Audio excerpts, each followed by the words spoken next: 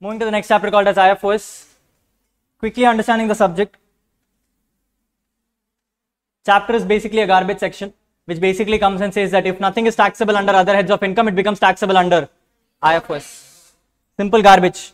Yes, where they're coming and saying nothing is taxable under other heads, you tax it under IFOS. Some examples are given to you like dividend income because dividend is always taxable under IFOS. Then they've come and said gift, uh, premium on issue of shares, any item of income, rent, and all those things which are not taxable under other heads of income.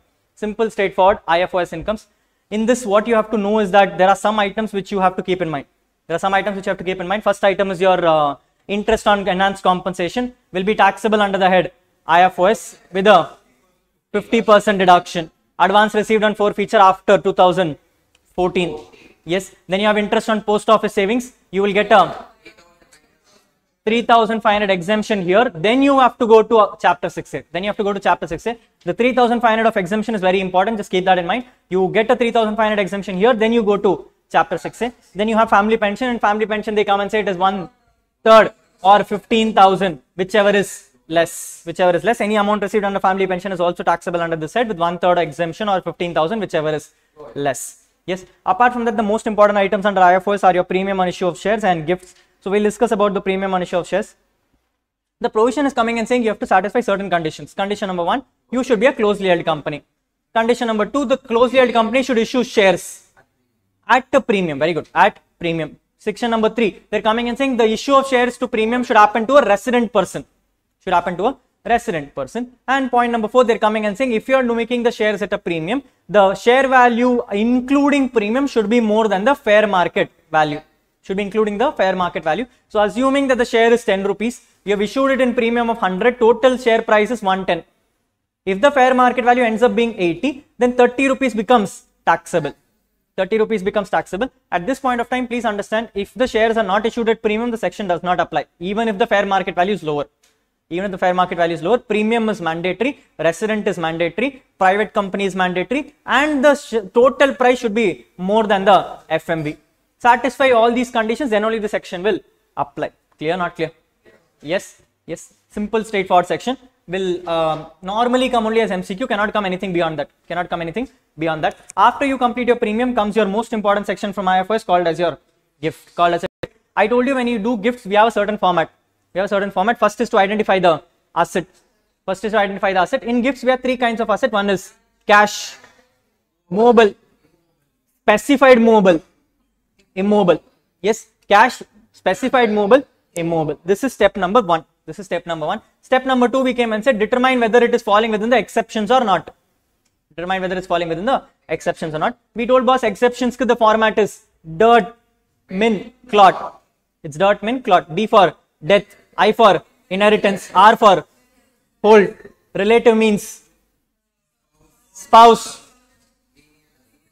Let's do left. Let's do left. Let's do left. First spouse, then brother, sister, parents, parents, brother and sister, grandparents, grandchildren, grandchildren and grandchildren, children and grandchildren. Yes. Then let's vara vara. Then do left side. Then do right side. You have spouse left side ra.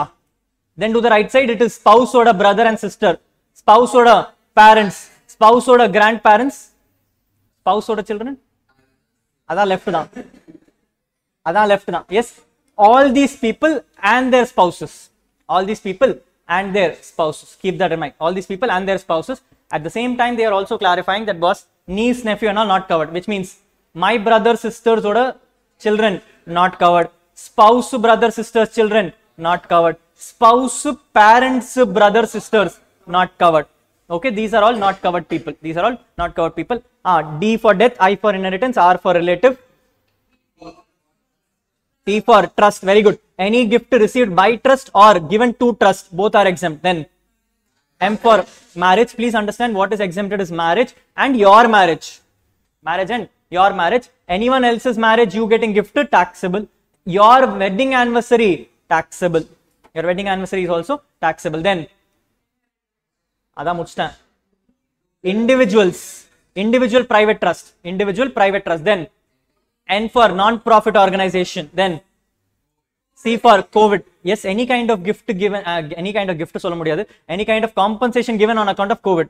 Compensation given on account of COVID. Here is where they are coming and clarifying that boss, it can be on two types. It can be on two types. On death also, on alive also. On death also, on alive also. If you are giving on alive, they have given some condition. What is the condition? Read it out with me. It says any kind of medical expenditures actually incurred by him to treat COVID-19 disease, which means on alive, whatever you give is fully exempt. Fully exempt. Then on death, what is happening? They're coming and saying death இருக்கும்போது employer கொடுத்த exempt. டெத்தில் இருக்கும்போது employer கொடுத்த exam if you get it from someone else it is subject to maximum of ten lakhs it is subject to maximum of ten lakhs பத்து லட்சத்துக்கு மேலே போச்சுன்னா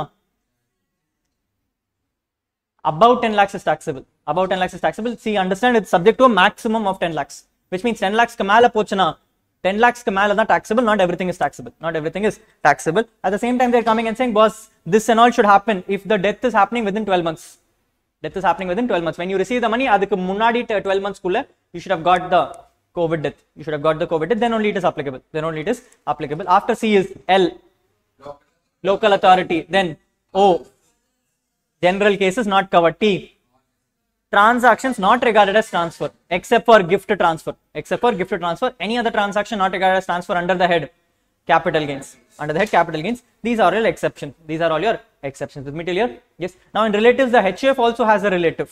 If the relative is of a HUF then HUF also has a relative. For HUF relatives are any members.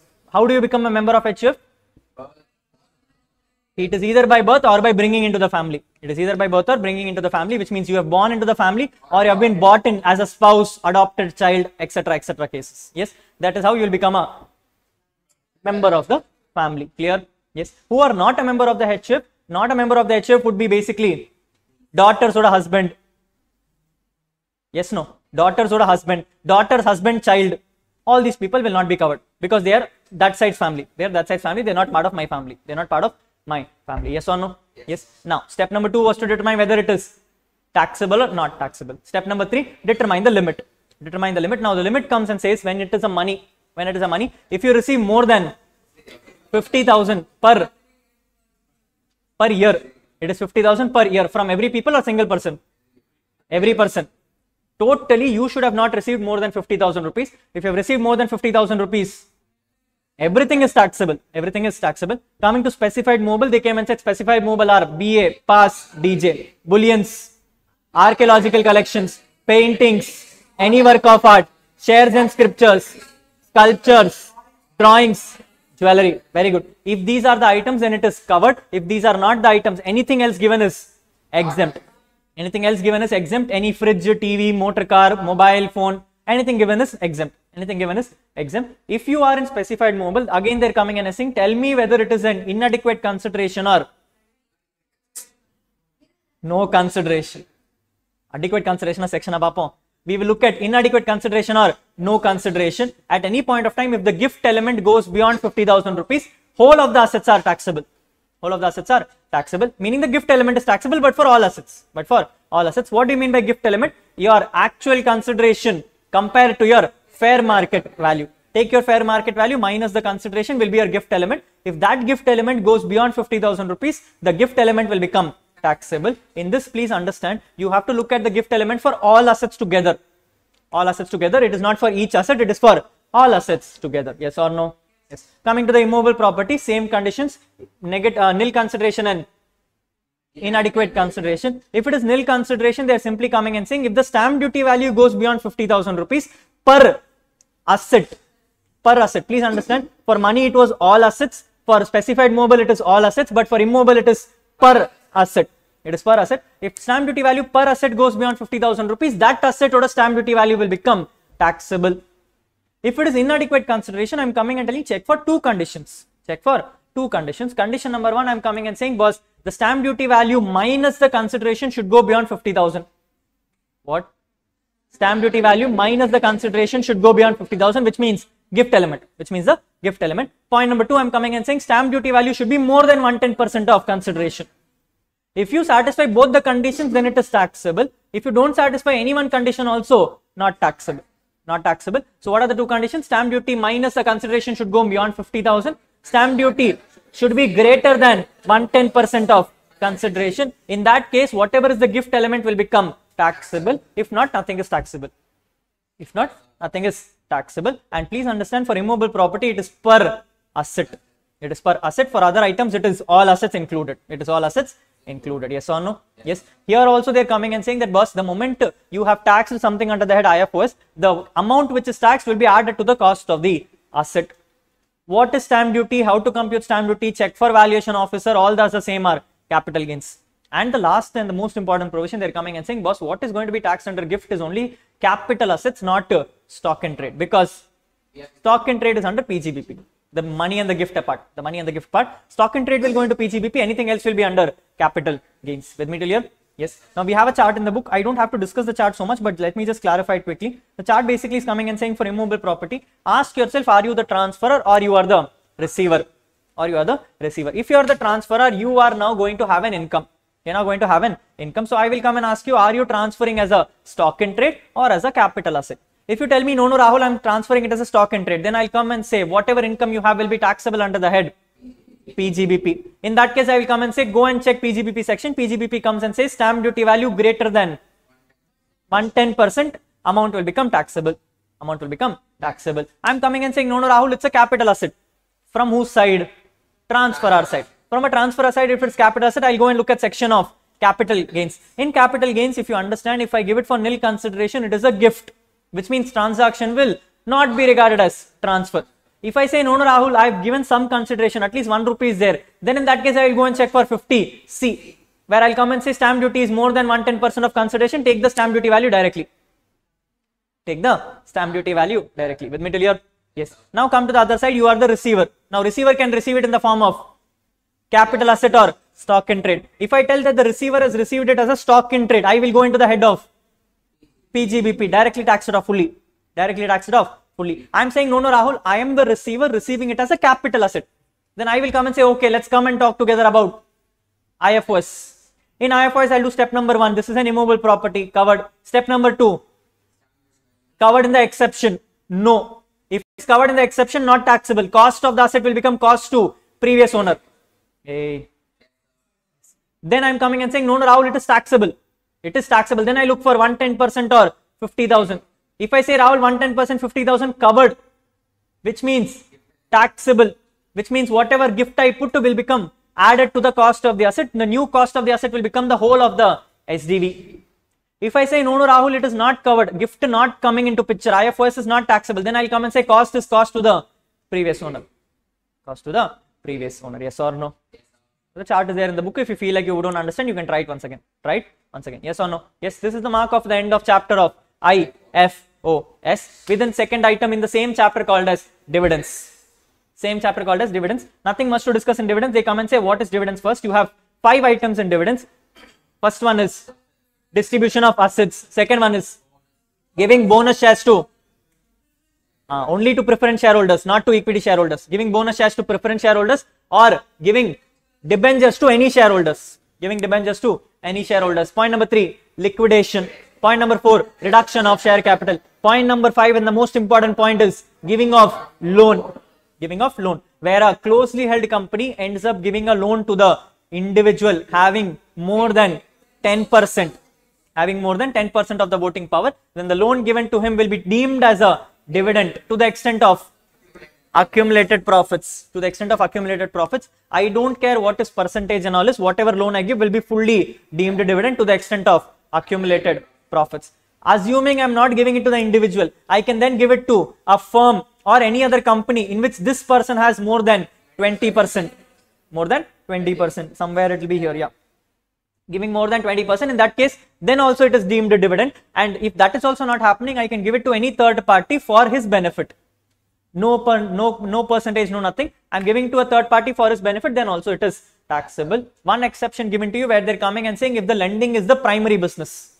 What? If lending is the primary business or the loan or advance i've given is against a business transaction.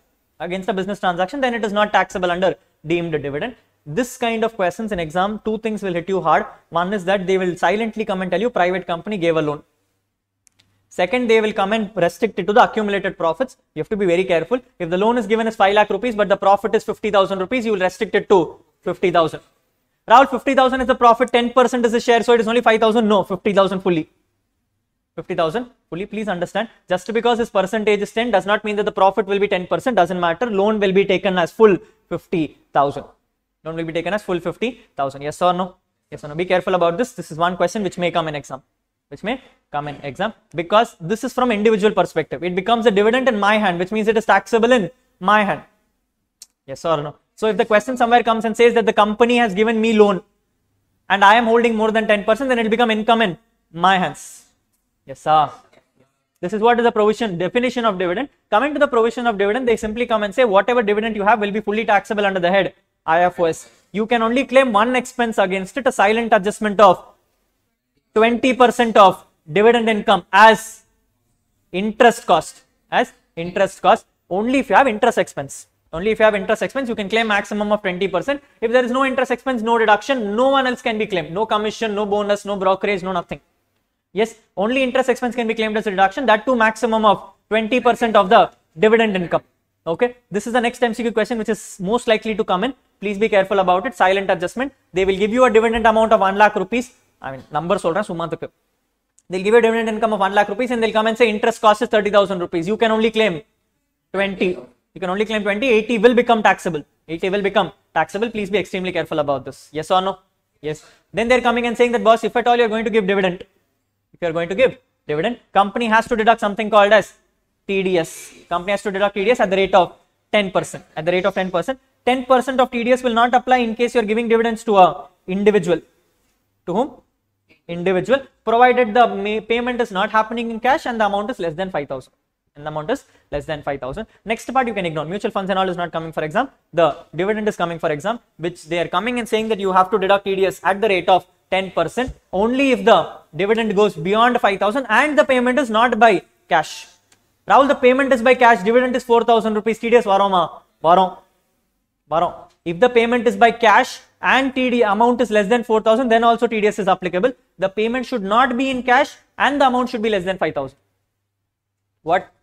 Payment should not be in cash and the amount should be less than 5000 both the condition to be satisfied. Both the condition to be satisfied then only TDS will not apply. Anyone violated TDS will apply at the rate of 10% on payment basis. On payment basis. With me yes great perfect this marks the end of your five heads of income called as salaries HP, PGBP, CG, IFOS.